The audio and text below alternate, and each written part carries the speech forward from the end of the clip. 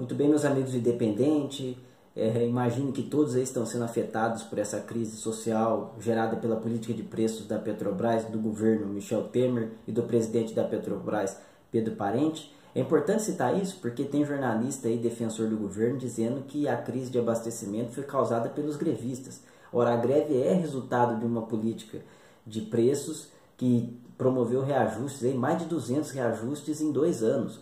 É, de 2003 a 2014 houve, se não me engano, 15 reajustes segundo o, o estudo de Diese.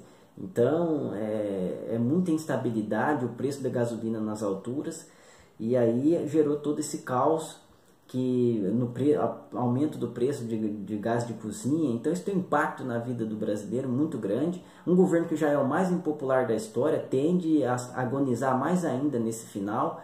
E se a gente for analisar os reflexos políticos dessa crise que está acontecendo, já, teve, já tem greve dos caminhoneiros, agora greve dos petroleiros também é, fico imaginando como é que vai ser a campanha de um candidato do MDB, de um candidato do partido do governo ou de um candidato que, ter, que tiver o apoio do MDB. O Alckmin mesmo conta com esse apoio para ele ter palanque eleitoral é, no, nas cidades, nos estados, porque o MDB tem muita prefeitura e governos do estado. É, mas simbolicamente dizem que ele vai carregar a alça do caixão do, do MDB. E sem o MDB, sem palanque estadual, teria dificuldade de chegar no segundo turno. Então essa crise ela impacta na, na, na, na, popularidade do governo, na força do governo, como ela impacta também nesse centro, nessa centro-direita liberal.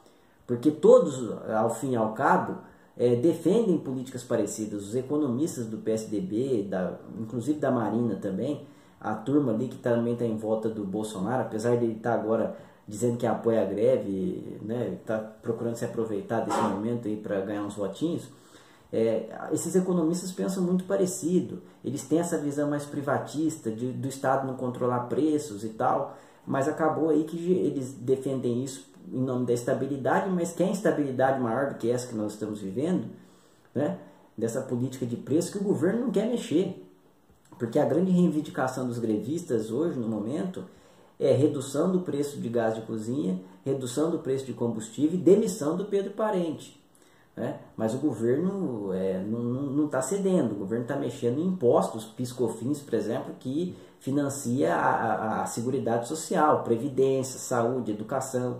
Como sempre, esse governo escolhe cortar naquilo que, que vai impactar na vida dos mais pobres. Cortar privilégio, cortar do andar de cima, fazer uma reforma tributária progressiva para mudar essa estrutura regressiva que penaliza o consumo e a produção e, não, e muito pouco capital especulativo, patrimônio, mudar essa estrutura tributária, o governo não quer, porque é um governo que foi eleito ali por setores da Casa Grande.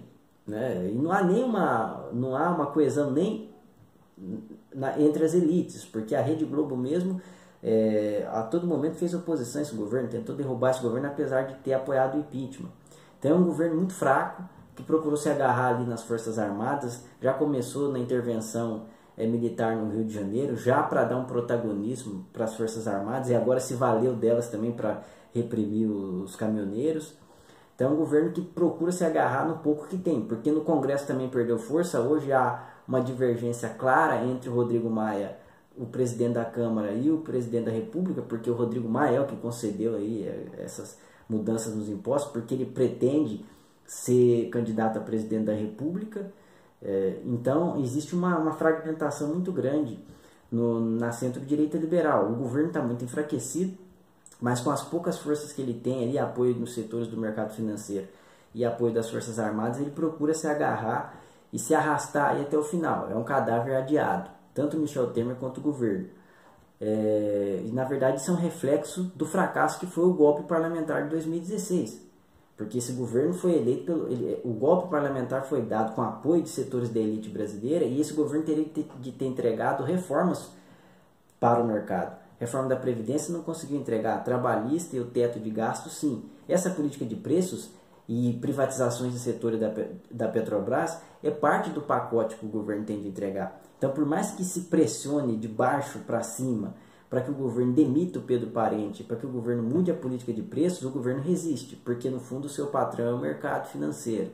Vamos ver até quando o governo Temer vai resistir.